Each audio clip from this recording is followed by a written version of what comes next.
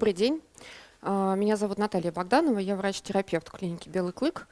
И, а, собственно, мы с Александрой Андреевной будем вам рассказывать про герпес вирус кошек. А, в моем случае это с терапевтической стороны, она расскажет про офтальмологические проблемы. Ну, собственно говоря, герпес вирус – это ДНК, содержащий вирус. Важно знать, что, ну, в общем, для нас это хорошо, что вирус достаточно хрупкий и вне организма хозяина выживает не больше 18 часов во внешней среде. И э, здесь э, имеется в виду, что, например, если условия благоприятные, влажные, то это до 18 часов, э, если условия среды э, сухие, то и того меньше. Э, основные э, переносчики, естественно, это болеющие кошки. Э, опасность представляет выделение из носа, слюна, выделение из глаз. А, интересный факт, что кошки на самом деле, несмотря на то, что они маленькие и носы тоже маленькие, могут чихать до полутора метров а, и выделять вирус до полутора месяцев после исчезновения клинических симптомов. Опасны также кошки в стадии носительства, причем выделение этого вируса чаще всего бывает бессимптомным а, и периодической. То есть в какой момент кошка может этот вирус выделять, непонятно. Также опасные предметы окружающей среды, люди, предметы обихода те же самые, но помним, что вирус а, свободно выживает до 18 часов максимально. А, заражению подвержены все кошки вне зависимости от возраста, а, пола, да, соответственно, и после заражения до 85% кошек становятся пожизненными носителями. Вирус а, живет а, в спокойном со состоянии в ганглиях тройничного нерва. И опять же, в стадии носительства а, выделение вируса периодическое и чаще всего бессимптомное. А, заражение происходит через слизистую оболочку носовой полости, ротовой полости, через конъюнктиву. Основное размножение вируса происходит в слизистой оболочке. А, то же самое носовой полости, ротоглотки и миндалиных. А, в мозгах вирус может быть обнаружен уже через сутки после заражения и сохраняться там до трех недель. А, в мозгах важно из ротоглотки, мы попозже об этом поговорим, что откуда да, преимущественно стоит брать материал для исследования. Собственно говоря, что э, происходит э, при заражении? Герпес-вирус, попадая э, на слизистые оболочки, вызывает отмирание эпителия слизистой оболочки. Они же пропитываются активно воспалительными клетками и фибрином, что может приводить к разрушению костей хан, бронхопневмонии и синуситам, воспалению пазух. Остеолизис, то есть разрушение костей, да, хуан может разрешиться через несколько недель, может сохраниться пожизненно. Не угадать, не узнать, как, как, как будет. А, течение болезни может быть как острым, так и хроническим. Что мы, а, с чем мы сталкиваемся клинически да, у таких а, пациентов? Собственно говоря, инкубационный период болезни от 2 до 6 дней – это средний срок, может быть дольше. Основные клинические симптомы – это чихание. Выделения разные, от слизистых прозрачных до а, гнойно-геморрагических, гнойных с кровью, а, воспаление глаз, конъюнктивита, кератоконъюнктивита, язвы роговицы тоже как один из симптомов, но это у нас Александра Андреевна будет рассказывать. Лихорадка, повышение температуры может быть, а может не быть не, характер, не совсем характерный признак. Снижение аппетита либо отказ от корма, это чаще всего а, связано и с а, температурой в том числе. Обезвоживание может быть, может не быть, слюнотечение также. И а, если у нас а, беременная кошка заболела, может быть аборт, либо смерть новорожденных котят. Ну, в общем, как-то вот так это может выглядеть.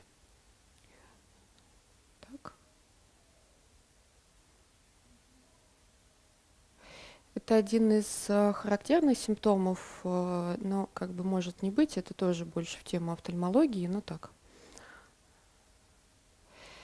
Э, очень важная тема по поводу диагностики герпес-вируса. На самом деле основное, на чем мы ставим диагноз, это анамнестические данные, история да, жизни зверя и клинические симптомы. Если мы берем исследования, если мы берем анализы, наибольшую эффективность показывают а, смывы либо, либо кюритажи, это соскоб, со слизистой ротоглотки. А, смывы из носовой полости, с конъюнктивы и а, с поверхности языка показывают очень низкую информативность для нас, поэтому, ну, в общем, смысла особого нет проводить эти исследования, только кюритаж с ротоглотки. 70-80% эффективности. А ПЦР – золотой стандарт. Остальные методы исследования даже не рассматриваются, просто потому что эффективность их, а, информативность их крайне низкая. С точки зрения, скажем так, постановки окончательного диагноза э, герпес-вирусной инфекции, это биопсия миндалин. Вот эти биоптаты мы отправляем да, на ПЦР, но это диагностика ради диагноза. Исследование достаточно травматичное, и необходимо нам только если вот есть какие-то сопутствующие, да, э, скажем так, сложности, когда нам точно нужно поставить диагноз вот прям во что бы то ни стало. Я думаю, что это имеет смысл, если а, у нас а, животное уезжает в да, какую-то там семью, где есть еще кошки, ну и владельцам прям крайне важно получить информацию, есть у кошки герпес-вирус или нет. По поводу лечения. А, системно мы применяем антибиотики, а, это может быть амоксициллин, доксициклин, э, азитромицин. Мы принимаем их вплоть до исчезновения клинических симптомов плюс неделя после исчезновения. По поводу доксициклина у кошек а, важно понимать, что молодым животным использовать его не стоит, а, и у кошек может вызывать эзофагит, это воспаление пищевода, поэтому рекомендуется после применения доксициклина выпоить кошке воду принудительно, либо покормить сразу после дачи лекарства. А по поводу местной антибиотикотерапии, это капли в глаза с антибиотиками, это может быть тобрекс, флоксал, ципромет – а тетрациклиновую мазь э, прописывают, если нет повреждений роговицы. А по поводу применения противогерпетических средств. А, фамцикловир, фамвир, да, э, есть разные дозировки, рекомендованные для использования дозы от 40 до 90 мг на килограмм. А, собственно говоря, эффективность одинаковая, Доза 90 мг на килограмм используется в течение двух недель, а, а вот доза 40 мг на килограмм больший срок. Но если мы используем высокую дозу, а, и кошка плохо переносит эту, да, такую дозировку, дозу снижать нельзя, потому что эффективность этого препарата в этом случае резко падает. Поэтому тут э, аккуратней. То есть, да, если ну, у нас есть какие-то выраженные системные э, клинические проявления, то лучше, наверное, использовать меньшую дозу, просто дольше. Ацикловир – самое распространенное лекарство у людей против э, герпес-вируса, но для кошек э, он токсичен, поэтому мы его не рекомендуем. По поводу вспомогательной терапии.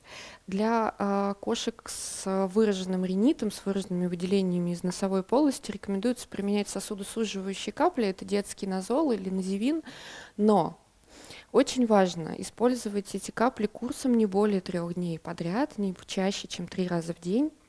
Можно провести два таких курса с трехдневным интервалом. Это связано с тем, что э, быстро достаточно вызывается атрофия слизистой оболочки носовой полости.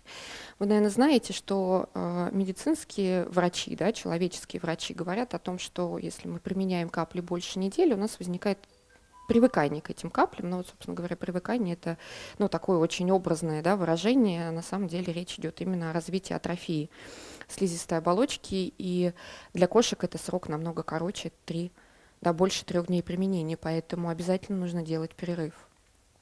А, используют за рубежом гиалуроновую кислоту в виде глазных капель, но у нас ее нет.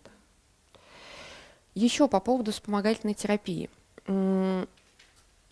Восполнение потерь жидкости, если а, у нас пациент не кушает или кушает очень мало – конечно, а, вот эта фраза «как можно меньше времени находиться в клинике» касаемо дополнительного стресса, да, потому что мы помним, что герпес-вирус а, активизируется, если у нас есть какие-то стресс-факторы. И, естественно, посещение клиники – это дополнительный, достаточно весомый стресс-фактор для наших пациентов, поэтому если есть э, необходимость, скажем так, да, в дополнительном введении жидкости, стараться это делать в домашних условиях подкожной капельницы. Обычно бывает самый простой а, вариант по рекомендации врача, естественно. А, по поводу кормления. Это мягкая, теплая, свежая а, еда, чем вкуснее пахнет, тем лучше. Это связано с тем, что у кошек с ринитом с выделениями из носовой полости обоняние значимо снижено, и чем а, лучше будет пахнуть еда, тем, соответственно, проще будет кошку этим заинтересовать.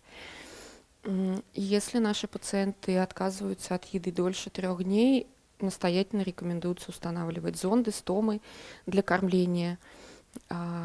И, естественно, удаление эксудата, удаление выделений из носовой полости, из глаз а, помогает, да, скажем так, заесть нашим пациентам. Есть очень хороший способ, э, который, вот, собственно, в домашних условиях можно осуществить, это паровые ванны по 10-15 минут, по 15-20 минут, несколько раз в день. Собственно, что это такое? Мы само помещение ванной комнаты, да, включаем горячую воду, чтобы она наполнилась паром, воду выключаем, сажаем туда нашего а, пациента, оставляем его там на какое-то время, это помогает а, лучшему разжижению и отхождению эксудата. А, промывание носовой полости достаточно обычного физраствора. Несколько раз в день, либо по необходимости, это можно проводить чаще.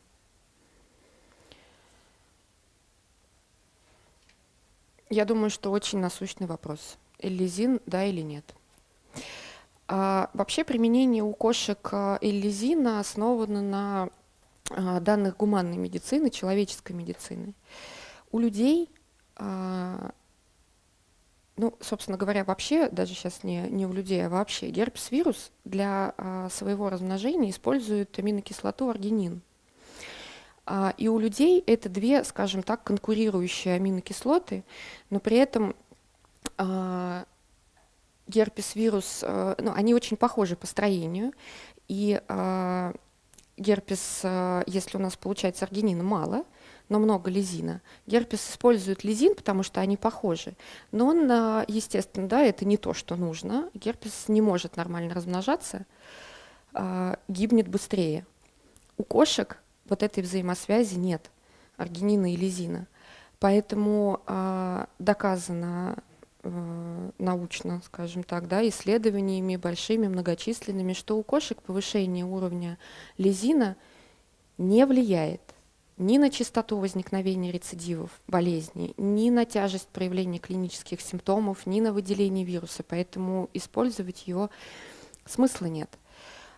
То же самое с заражением. Никак не влияет на вероятность заражения вирусом и не снижает, да, не, не, не предотвращает заражение и не снижает вероятность.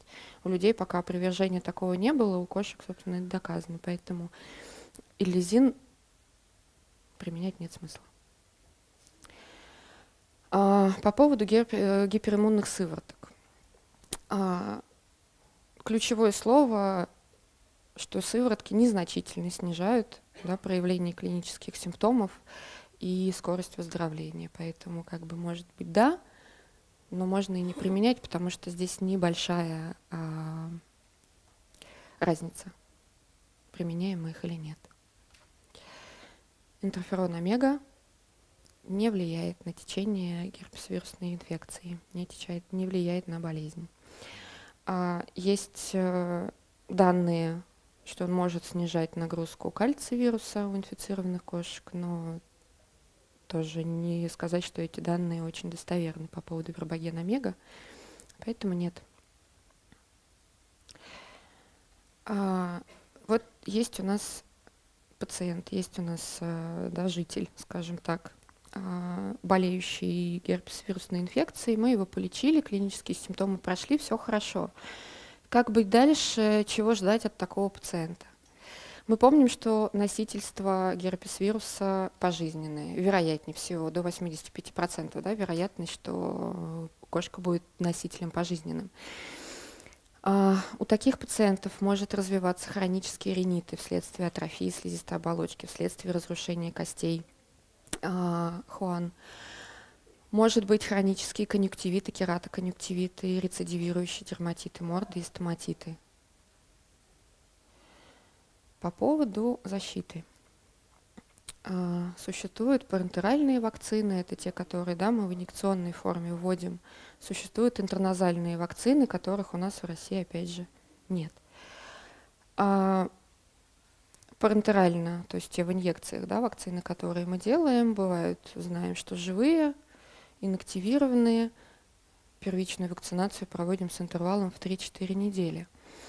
По поводу интерназальных вакцин, если когда-нибудь они нам будут доступны, э, иммунитет развивается на них достаточно быстро, но могут быть легкие проявления клинические, чихание, небольшие выделения из носа, как правило, проходят самостоятельно через несколько дней, мы не придаем этому большого значения. А иммунитет после вакцинации а, до 48 месяцев – это достаточно длительный период. Но вне зависимости от того, в каком виде мы ввели вакцину. Вакцины дают слабую и непродолжительную защиту. А единственное, ради чего мы вакцинируем пациентов против герпес-вируса, это а, снижение тяжести течения болезни. И все. От заражения они не защищают и даже не снижают вероятность ее, только при тяжесть клинических симптомов. А, что же делать с кошками и маленькими детьми? А, на самом деле а, рекомендуют вакцинировать, начинать котят с очень раннего возраста, а, начиная с месяца. И дальше вакцинация каждые 3-4 недели вплоть до 14-недельного возраста. А, но а, когда мы начинаем вакцинировать кошек, котят достаточно рано, естественно, есть еще материнские антитела, и они первую вакцину эффект могут блокировать. Да? А, э, если мы говорим про маму, вот вакцинированная у нас кошка, кормя своих котят, она не всем равномерно раздает антитела, и у них может быть разное количество антител. У кого мало, у кого много. Поэтому в любом случае вакцинация показана даже с раннего возраста. Беременную кошку можно прививать за несколько недель до родов это может увеличить количество антител в молозиве, но помним, что беременных кошек нужно прививать только убитыми вакцинами.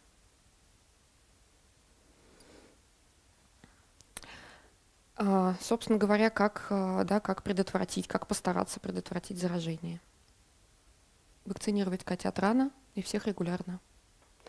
Если к нам попадают больные кошки явно, мы их изолируем, беременных кормящих в другую сторону – а, вновь прибывших жителей вакцинируем и карантинируем до трех недель. А, естественно, если а, к нам попадают, ну, у нас есть популяции кошек, свободных от герпес-вируса, внедрять туда кошек из питомника, где явно были случаи заболевания, не самая хорошая идея. Из разведения кошек выводить, которые рождали больное потомство – и дезинфекции. Дезинфекция всего, что можно продезинфицировать. Миски, клетки, переноски. А, помним, что с этим вирусом все намного проще, чем а, с многими другими. Убивается он достаточно легко, а, стандартными дезинфектантами. Даже время и то является средством дезинфекции в случае с герпес-вирусом. как, что сделать, чтобы предотвратить? Да? А, естественно, перенаселение – это самый а, важный, скажем так, фактор развития герпес-вирусов. Контроль стрессов – это а, новые жители в популяции, это визиты в ветеринарную клинику, это различные переезды, это все является для кошки стресс-факторами. И глюкокортикостероидные гормоны нет в этом случае точно. Естественно, по медицинским показаниям, если есть какие-то сопутствующие болезни, нужно взвешивать там, за и против. Это ложится на плечи врача, принимать или не принимать.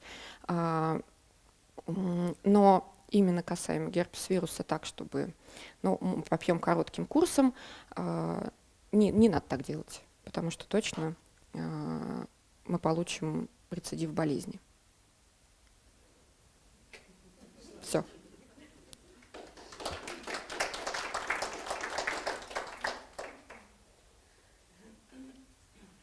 Никто ничего не спросит? Да.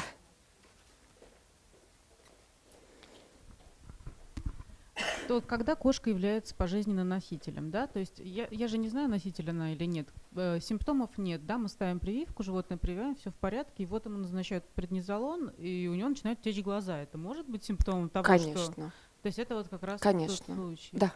А я так расстроилась. Спасибо. Извините.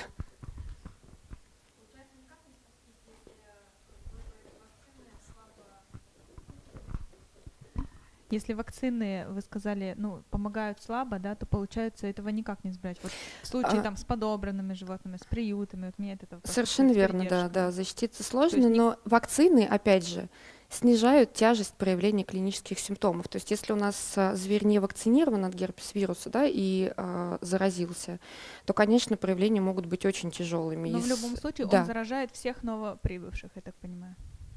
Если в, весь, там, если в, приют, да, говоря, в данной популяции, да. да, конечно, если, например, да, мы приют возьмем, там, ну, там большая часть или все, если они все живут вместе, больны герпес-вирусом, и к нам приехал зверь здоровый, ну, в общем, весьма большая вероятность, что он заболеет тоже, конечно.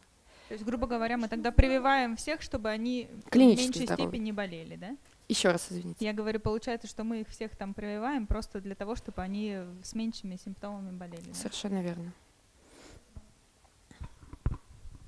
Скажите, пожалуйста, по поводу паровых ванн, да, вот э, если у кошки э, параллельно еще э, на рентгене затемнение в легких, то наверняка... Э, плохая идея. Да. Угу. То есть... Конечно, плохая идея.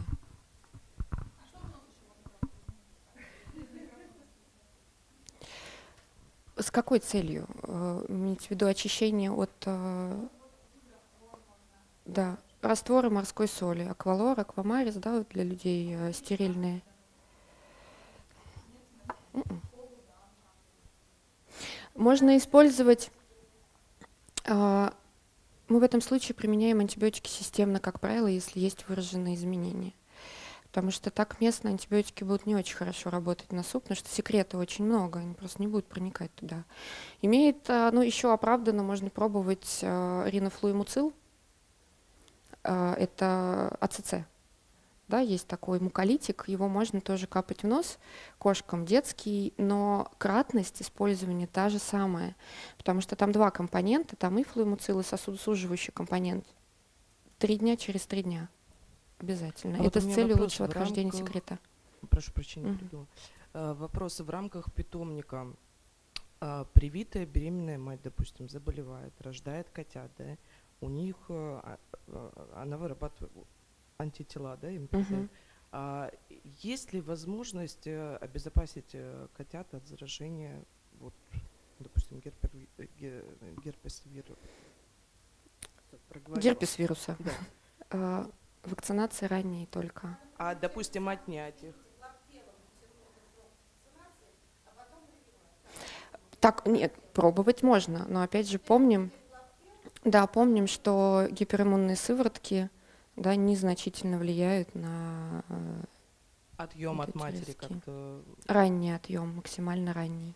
Ну, четыре недели. Четыре да? недели, угу. да.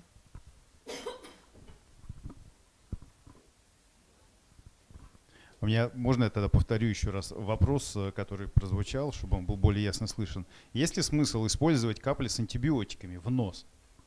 Нет нет смысла. Системно мы применяем капли, с, э, системно применяем антибиотики да, в этом случае. И, и Вот э, все капли в нос это все вспомогательная терапия. То есть мы применяем да, антибиотик системно, но э, промывание носа, капли в нос это только чтобы улучшить клиническое состояние животного, снизить эксудацию, чтобы у нас зверь лучше чувствовал еду и мог поесть только с этой точки зрения. Те же самые муколитики, флуимуцил, только для того, чтобы лучше отходил секрет. А есть ли смысл использовать иммуностимуляторы или модуляторы, закапывая их в нос? Нет. Что ж такое? Могу сказать так, что в лечении у нас, э, у людей, то есть в назначении этих же препаратов тоже сейчас э, уже пересмотрено, использовать капли в нос там, при лечении ринита с антибиотиками не считается столь эффективным. Тоже, если есть воспаление, то эффективный, когда оно точно бактериальное, эффективный системное. Если его нет, ну, именно бактерий, то тогда нужно просто физраствор и такие. Просто обеспечить адекватную санацию, совершенно верно. Подскажите, пожалуйста, если у нас имеется непривитый котенок породный, да, вот у новой хозяйки, и а, единственный симптом это ринит, чаще всего серозное истечение, при этом ПЦР-диагностика не показывает наличие герпеса. И котенка, в принципе, это не беспокоит, аппетит, все хорошо, беспокоит только хозяйку. Следует ли подозревать у него все-таки этот герпес, что делать с вакцинацией? Следует подозревать, вакцинировать. Не ухудшит ситуацию.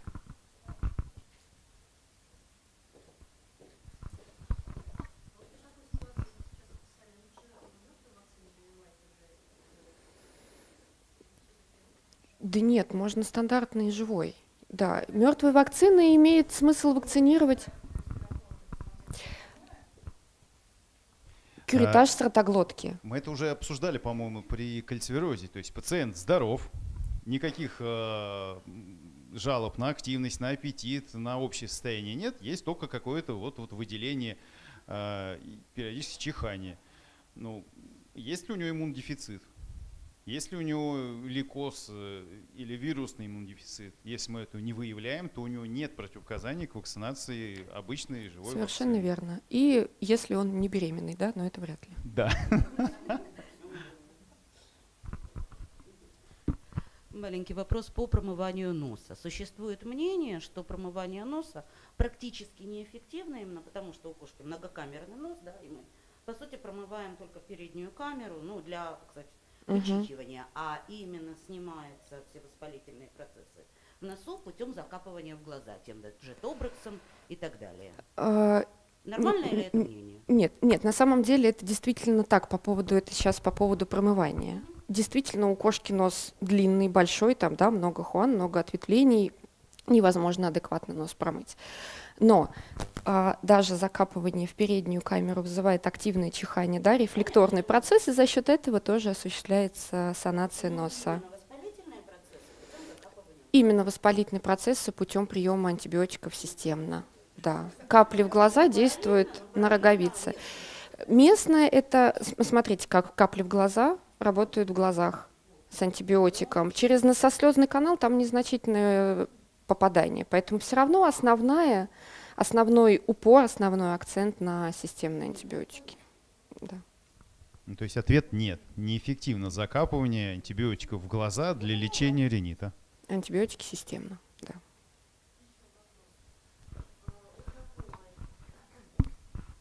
А, кошка переболела риндрохиитом, а, все клинические признаки прошли, кроме эпизодического чихания. У нее закладывает нос, где-то примерно раз в неделю она вычихивает зеленую соплю, при этом никакие другие анализы ничего не показывают. Угу. Хозяйку беспокоит именно вот эта эпизодическая заложенность носа и потом вычихивание. Каким образом можно ну, как бы, что, что можно сделать в этой ситуации? Ну, а, и в э, клинике рекомендовали, ну, если я правильно назову, это бужирование или что-то типа того. А, ну, по поводу бужирования не совсем понимаю, что имеется в виду, потому что само по себе бужирование, процедура – это расширение а, канала. На а самом деле… Как объяснили, что из-за того, что скапливается слизь внутри, а, ее надо оттуда вымыть, и вот э, так как кошка до конца не может прочихаться, у нее заложенность, она хрюкает. Угу. Вот, и ей предложили сделать бужирование. Вот вопрос. А, ну, я так понимаю, что не совсем термин корректный. А, бужирование само по себе подразумевает процедуру расширения да, чего-то, а, полости какой-то канала. А, я так думаю, что вот в случае с этой кошечкой имеется в виду проведение риноскопии, то есть осмотра да, э, носовой полости и промывание всех вот этих пазух от гноя. Но, вероятнее всего, у этой кошечки хронический уже ринит да, после переболев... раз, раз, переболевания герпесом, а, там может быть так называемый лимфоцитарно-плазмоцитарный ринит хронический, который может лечиться только местными а, каплями, там, теми же промываниями, что-то. И а, стероидными, кстати, местными только, не системные стероидные. А, но это гистологический диагноз тоже, то есть это нужно на риноскопии смотреть. Но промывание носа вот такое, да, как вы сказали, имеет смысл ну, возможно, будет рецидив через какое-то время. Это может не помочь на всю жизнь, да, избавиться от этого. Да, сейчас промоет, будет улучшение, но через какое-то время может случиться снова, через несколько месяцев. Я Очень дополню, потому что и объясню, почему доктору непонятно. Для того, чтобы принимать решение о необходимости бужирования, не рекомендовать его пациенту, нужно сначала убедиться в его необходимости. То есть надо сначала сделать риноскопию, убедиться, что там сужены эти самые проходы Хаана, и тогда, о, да, знаете, смотрите, да, сужено, давайте. А так только потому, что да, у него спасибо. сопли, ну давайте там пробуровим дырочку.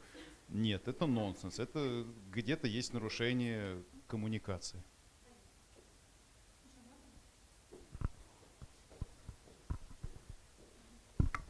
Вот по поводу вакцинации. Допустим, у кошки сдали отдельно ринотрахеид, он показал положительно, герпес вирус дали, показал отрицательно, да? И, э, ну, выбор вакцины какой? То есть как нам объяснили в клинике, на бивак трикет там содержится ну, от, от ринотрахита, а поривакс, мириал, да, от э, герпес вируса. В общем, какую вакцину выбрать дальше для, при, для, при, для вакцинации кошки?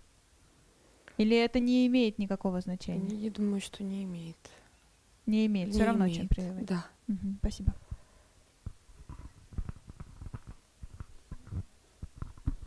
А человеческие капли с гиалуронкой не подойдут? Нас, насколько я знаю, нет, но я думаю, что э, это уже к следующему лектору вопрос угу. по поводу, да, там глазных э, капель. Я не совсем в курсе. Все?